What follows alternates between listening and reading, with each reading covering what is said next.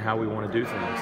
And then offensively, you watch the first half, we scored 32 points.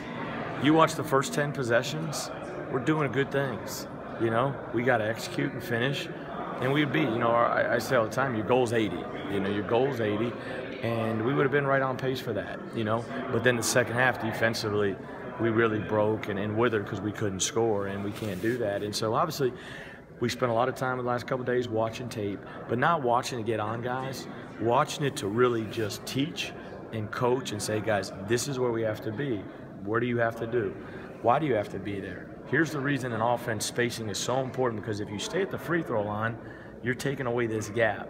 You have to be in the corner. And that's things a lot of these guys, A, it's the first time they've heard it, and B,